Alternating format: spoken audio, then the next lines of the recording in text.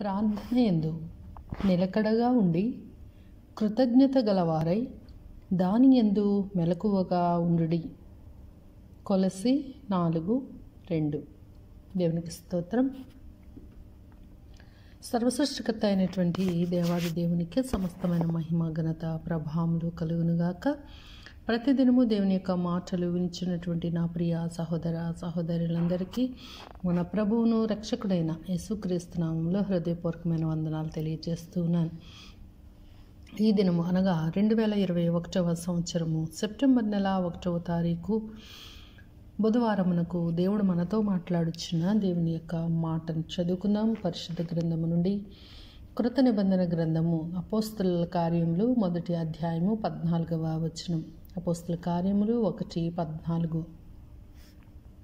వీరందరూ వీరితో కూడా కొందరు స్త్రీలను యేసు తల్లి అయిన మరియయు ఆయన సహోదరులను ఏక మనస్సుతో ఎడతెగక ప్రార్థన చేయుచుండిరి. దేవునికి స్తోత్రం.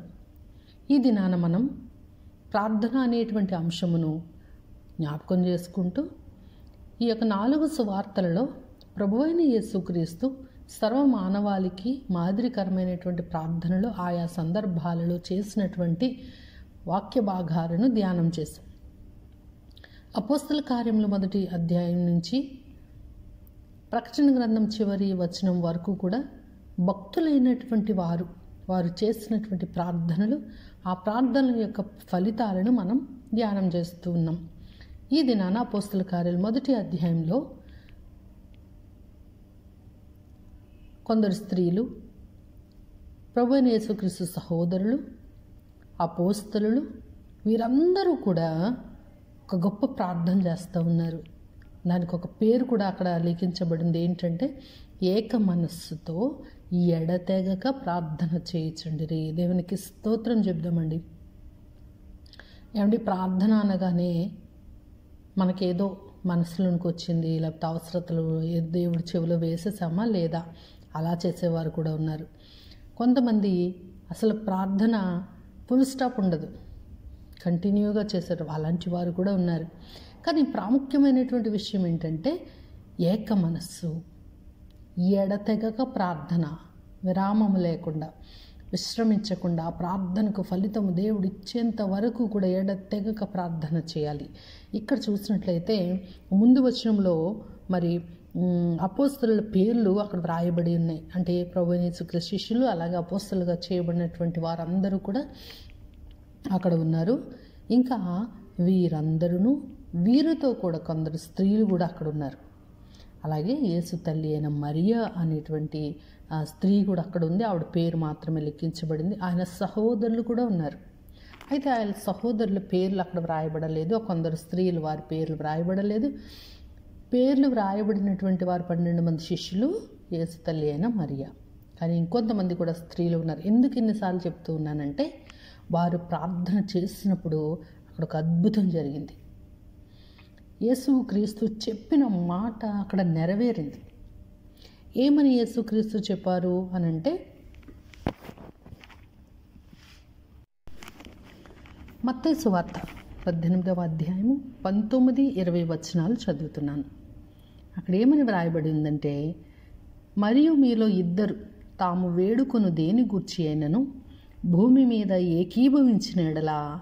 అది పరలోకముందున్న నా తండ్రి వలన వారికి దొరుకునని మీతో చెప్పుచున్నాను. ఎలానగా ఇద్దరు ముగ్గురు నా నామమున ఎక్కడ కూడి ప్రార్థి ఎక్కడ కూడి ఇందురో అక్కడ నేను వారి మధ్యన ఊందునని చెప్పెను దేవునికి స్తోత్రం. ప్రభు అయిన యేసుక్రీస్తు ఆయన తెలియచేసినటువంటి వాగ్దానం ఒక ప్రామిస్ ఏంటంటే మీలో ఇద్దరు లేక ముగ్గురు దేనైనా వేడుకునేటప్పుడు ఏకీభవించి అడిగిన ఎడల. అది కూడా భూమి మీద మీరు ఏకీభవించి ఏకీభ యూనిటీ అనేది చాలా చాలా చాలా ప్రాముఖ్యమైనది. ప్రార్థనలో యూనిటీ కావాలి ఒక ప్రార్థన చేస్తున్నటువంటి గుంపు లేకపోతే ఒక ఇద్దరు ముగ్గురు ఉన్నప్పుడు ఒకరు వేరే గురించి ఒకటి వేరే గురించి చేయకూడదు. ఆ ప్రార్థనలో ఐక్యత కావాలి. అప్పుడు పరలోకంలో తండ్రి వలన అనగా పరలోకపు తండ్రి వలన మనకు అది దొరుకుతుంది అని యేసుక్రీస్తు చెప్పినటువంటి మాటను ఇక్కడ వీరు ఇక్కడ నెరవేర్చబడింది అని తెలియచేయడానికి ఇష్టపడుతూ ఉన్నాను. మన జీవితంలో మనము ప్రార్థన అనేటువంటి అంశాన్ని విన్నాం. పాత నిబంధన గ్రంథంలో భక్తులైనటువంటి వారు చేసిన ప్రార్థనలు వాటి ఫలితాలను ధ్యానం చేసాం నాలుగు సువార్తలు ప్రభు యేసుక్రీస్తు చేసిన ప్రాముఖ్యమైనటువంటి ప్రార్థనను ధ్యానం చేసాం ఇక భక్తులైనటువంటి వారు శిష్యులైనటువంటి వారు యేసు క్రీస్తు నామంలో ప్రార్థన చేసి అద్భుతాలు చేశారు. వాటిని మనం ధ్యానించబోతూ ఉన్నాం. ఈ ప్రార్థన అనేటువంటి అంశమును మనం అనేక మార్లు మన జీవిత కాలంలో విన్నాం. చాలామంది ప్రార్థన అనుభవంలోనికి కూడా వెళ్ళి వచ్చిన వారు ఉన్నారు. అయితే యేసుక్రీస్తు చెప్పిన మాట ఏకీభవించి ప్రార్థించిన ఎడల మన జీవితాల్లో అద్భుతాలు జరుగుతాయి అని మరొకసారి మనం నిరూపించుకోవాలి అంటే ప్రార్థన జీవితాన్ని మనం కూడా ఏకీభవించి చేసేటువంటి ప్రార్థన మనం చేయాలి. ఇంకా ఏం చెప్పారంటే యేసుక్రీస్తు? అదే మత సువార్త ఇరవై ఒకటో అధ్యాయం ఇరవై రెండో వచనంలో ఈ విధంగా చెప్పారు. మరియు మీరు ప్రార్థన చేయనప్పుడు వేటిని అడుగుదరో అవి దొరికినవని నమ్మిన ఎడల మీరు వాటినన్నిటినీ పొందుదురు. దేవునికి స్తోత్రం. మీరు ప్రార్థన చేస్తున్నప్పుడు ఏకీభవించి చేయాలి? ఇక రెండవ మాట మీరు ప్రార్థన చేస్తున్నప్పుడు దేన్నైతే అడుగుతున్నారో అవి దొరికినవి అని చెప్పేసి చేయాలి. మనకు తెలుసు కదా యేసుక్రీస్తు మరి ఆయన లాజరును చనిపోయినటువంటి నాలుగు దినములు మృతతుల్యమైపోయినటువంటి లాజరును పిలవడానికి అంటే బ్రతికించడానికి తండ్రితో ఒక మాట అంటారు ఏమని మరి నీ నీ నీ యొక్క నీవు నా ఎడల ఇంత గొప్ప కార్యం చేసినందుకు వందనాలు. ఎందుకంటే ఆయన ఇంకా పిలవలేదు ఆయన లేవలేదు కానీ దేవుని మీద ఆయనకి యేసుక్రీస్తుకి ఎంత నమ్మకం వచ్చింది? ఏదైతే నేను అడుగుతున్నానో అది నీవు దయచేసినందుకు నీకు కృతజ్ఞతలను తెలియచేశారు.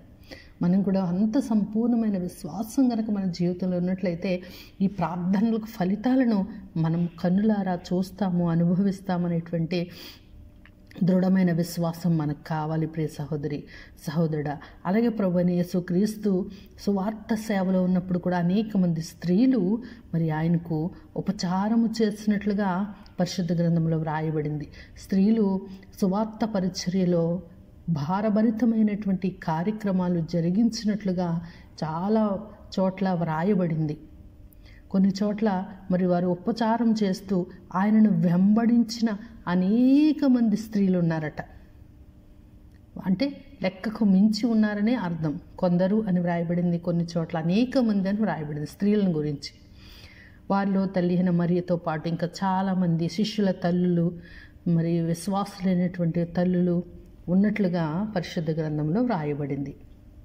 ఏదేమైనప్పటికీ ఇక్కడ జరిగినటువంటి అద్భుతాన్ని కనుక మనం చూసినట్లయితే యేసుక్రీస్తు ఏం చెప్పారు? మీరు పరిశుద్ధాత్మ మీ మీదకి వస్తుంది మీరు శక్తి పొందుతారు. అప్పుడు వరకు మీరు నాకు సాక్షులై ఉండాలంటే మీరు వేచి ఉండమని మరి శిష్యులతోనూ అక్కడ ఉన్నటువంటి వారితో చెప్పి ఆయన ఆరోహణమైపోయి వెళ్ళారు పైకి.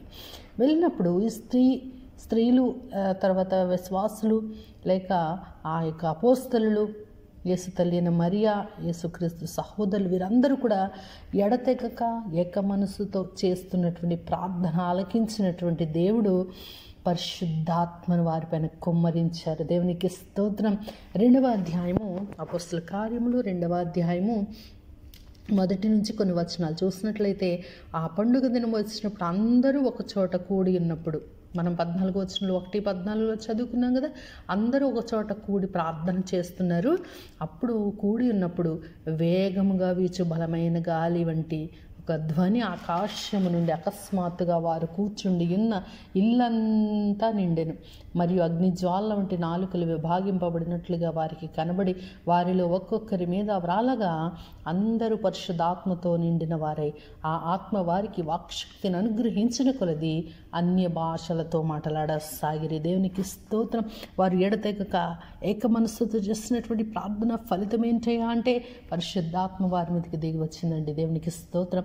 పరిశుద్ధాత్మ చేత అక్కడ ఉన్నటువంటి స్త్రీలు అక్కడ ఉన్నటువంటి అపోస్తులు అక్కడ ఉన్నటువంటి యేసు శిష్యులు అందరూ కూడా పరిశుద్ధాత్మతో నింపబడారండి. దేవునికి స్తోత్రం. యేసుక్రీస్తు ఈ మాటలు కూడా వారికి చెప్పారండి. వారు నమ్మారు విశ్వసించారు. ఏమని చెప్పారంటే యేసుక్రీస్తు యోహాన్ స్వార్థ పద్నాలుగో అధ్యాయం ఇరవై ఆరో వచ్చిన చూసినట్లయితే ఆదరణకర్త అనగా తండ్రి నా నామమున పంపబో పరిశుద్ధాత్మ సమస్తము మీకు బోధించి నేను మీతో చెప్పిన సంగతులన్నిటినీ మీకు జ్ఞాపకము చేయను. దేవునికి స్తోత్ర. యేసుక్రీస్తు మరి ఆదరణకర్త అయినటువంటి పరిశుద్ధ ఆత్మను పంపిస్తానని ఆయన వాగ్దానం ఇచ్చినట్లుగా చెప్పినట్లుగా ఆయన పరిశుద్ధ ఆత్మను క్రొమ్మరింపు జరిగింది. ఇంకా యోవేలు భక్తుడు యోవేలు ప్రవక్త ద్వారా ప్రవచించినటువంటి ప్రవచనం కూడా ఇక్కడ నెరవేరినట్లుగా మన వాక్య భాగంలో చూస్తూ ఉన్నాం. అంత్యధనములు ఎందు నేను నా మనుషులందరి మీద నా ఆత్మను కుమరించదను. మీ కుమారులు మీ కుమార్తెలు ప్రవచించెదరు. మీ యవ్వనులు దర్శనములు కలుగును మీ వృద్ధులు కలలుగందరు ఆ దాస్ ఆ దినములలో నా దాసుల మీదను దాసుడండ్ర మీదను నా ఆత్మను కుమ్మరించేదను గనుక వారు ప్రవచించెదరు. దేవునికి స్తోత్రం. ఇది యోవేలు ప్రవ ప్రవచించిన ప్రవచనం. ఇక్కడ నెరవేరినట్లుగా చూస్తూ ఉన్నాం. దానికి ఆ యొక్క సెంటర్ పాయింట్ లేకపోతే ప్రాముఖ్యమైన విషయం ఏంటంటే ప్రార్థన. ప్రార్థన చేసినప్పుడు మనకి దొరికినవని ప్రార్థన సంపూర్ణమైన విశ్వాసంతో చేయాలి. అలాగే దేవుడు కూడా చెప్పాడు మీరు అడుగుడు మీకు ఇవ్వబడినంటే మనకి ఈ లోకంలో కావాల్సినటువంటి అవసరతలను అడగమని చెప్పట్లేదు. కానీ తన్ను అడుగు వారికి దేవుడు తప్పకుండా పరిశుద్ధాత్మను క్రొమ్మరిస్తాడు. కనుక మీరు అడగండి ఆయన తప్పకుండా ఇస్తాడు. వారి ప్రార్థనలు అడిగినటువంటి ప్రాముఖ్యమైన విషయం ఏంటి? పరిశుద్ధాత్మనిమ్మని. పరిశుద్ధాత్మను మాకు దయచేయమని వారు అడిగినప్పుడు దేవుడు మరి పరిశుద్ధాత్మ అనుభవంలోనికి వారిని అందరినీ నింపినట్లుగా మనం చూస్తూ ఉన్నాం. ప్రియ సహోదరి సహోదరుడు పరిశుద్ధాత్మ అనుభవం నీకు లేకపోతే ప్రార్థించట ప్రారంభించు. ప్రార్థన యొక్క ఫలితం పరిశుద్ధాత్మ నడిపింపు. పరిశుద్ధాత్మ ద్వారా మనం మరి ఎంతగానో బలపరచబడిన వారమై అనేక మంది నశించిపోతున్న వారికి సువార్త పంచిపెట్టడానికి భారమును దేవుడు హృదయాన్ని దయచేస్తారు. అలాగే మనం వట్టి వారం మట్టి వారము ఎన్నిక లేనివంటి వారము అజ్ఞానులము ఏ యొక్క యోగ్యత లేనటువంటి మనలను దేవుడు నిలబెట్టుకుని తన పరిశుద్ధ ఆత్మ నడిపింపులో నడిపించి అనేకులకు సువార్తను తద్వారా రక్షణను తద్వారా పరలోక వారసత్వాన్ని దేవుడు దయచేస్తాడు. కానీ దీనికి అన్నిటికంటే ప్రాముఖ్యం ప్రార్థన.